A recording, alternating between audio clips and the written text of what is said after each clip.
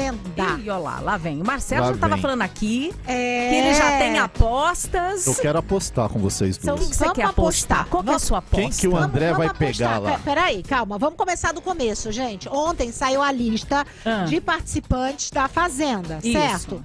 Entre vários anônimos, que a gente sabe que sempre tem, foram dois nomes que deram destaque. O primeiro destaque é Raquel O Sherazade. que, que é isso, gente? A jornalista, a da bancada do SBT. Que fase! Como assim, gente? Gente, o que, que aconteceu? Na boa. Necessidade, ué. É, e o Tá Carelli... querendo voltar pra mídia. É, total. É, o Carelli, o diretor da Fazenda, ele falou que ligou e falou assim, ela não vai topar. E ela, a princípio, não topou. Depois, ela que ligou pro Carelli, pro diretor, e falou, vocês ainda me querem? Tô indo. Tô indo. Eles, opa, opa. Venha. Baita nome, baita nome. E aí, o outro que também chamou muita atenção foi André Gonçalves. Hum. Só lembrando, gente, o André Gonçalves é aquele que estava casado com a Dani Vinitz há 10 dias atrás. Isso.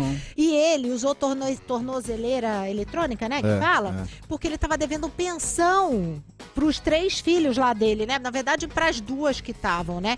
Que ele tem uma filha com a Cíntia Benini, uma filha com a Teresa Seiblitz e um filho com a Miriam Rios. É isso. E o André Gonçalves, ele fez parte da Casa dos Artistas, onde ele conheceu a Cíntia Benini, Uhum. né? Ah, do foi lá que ele conheceu a Cíntia. É, Ah. exatamente. É o rei do exatamente. reality. É exatamente isso. É o rei do reality. Aí a gente tem ali a, a Jojo Todinho vai ficar louca, porque lá tem o ex da Jojo Todinho, o Lucas Souza, e aquela é uma idiotinha aí chamada Cariúcha, que nem vale a pena lembrar, e mas que ela odeia a Jojo Todinho e fica brigando com a Jojo Todinho nas redes sociais. Ah. Agora, agora vem as apostas. Quem que vocês acham desses que a gente falou que vão, vai se destacar muito assim? Eu aposto na Raquel pela inteligência e pela audácia dela.